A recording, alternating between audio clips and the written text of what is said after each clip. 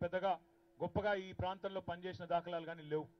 కానీ ఈరోజు గౌరవ ముఖ్యమంత్రి కేసీఆర్ గారి నాయకత్వంలో ప్రపంచంలోనే అతి పెద్దదైన డాక్టర్ బాబాసాహెబ్ అంబేద్కర్ పేరు పెట్టు విగ్రహం పెట్టుకున్న అదేవిధంగా డాక్టర్ బాబాసాహెబ్ అంబేద్కర్ గారి పేరిట అద్భుతమైన కొత్త సచివాలయం కట్టుకున్న తెలంగాణ అమరవీరుల త్యాగాన్ని గుర్తుంచుకుంటూ తెలంగాణ అమరుల నిర్మాణాన్ని చేసుకున్న ఇవన్నీ కూడా ఈరోజు మన సెంట్రల్ హైదరాబాద్కి కొత్త అందాన్ని తీసుకొచ్చిన విషయం మీ అందరికీ నేను గుర్తు చేస్తా ఉన్నా.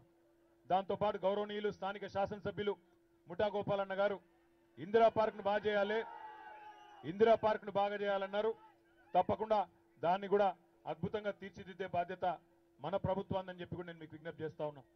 చిన్నప్పుడు ఇక్కడ ఉన్న వాళ్ళందరం కూడా దాదాపు అమ్మ కేశవరావు అంకుల్తో సహా నేను ఆబ్బీ ఆబ్బీ కవి చోటే సార్ నేనే నేను ఇందిరా పార్క్ నేను బాత్ కర్ మే ఆర్టీసీ ఎక్స్ రోడ్స్లో అందరం సినిమాలు చూసిన వాళ్ళమే.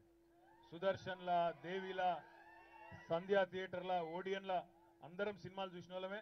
అందరం ఇక్కడ ట్రాఫిక్లో ఫసాయించిన వాళ్ళమే. అశోక్ నగర్ చౌరస్తాల కొద్దిసేపు ఆగాలి. రామ్నగర్ చౌరస్తాల కొద్దిసేపు ఆగాలి. ఆర్టీసీ ఎక్స్ రోడ్ల కొద్దిసేపు ఇరికిపోవాలి. కిందికి పోతే ఆజామాబాద్ కాడ బాధ విఎస్టీ చౌరస్తా కాడ బాధ ఇంకా కొద్దిగా ముందుకు పోతే విద్యానగర్ కాడ బాధ. ఇట్లా చిన్నప్పటి నుంచి నేను స్కూల్లో ఉన్నప్పటికెళ్ళి చూస్తానే ఉన్నాం. కానీ ఈరోజు ఈ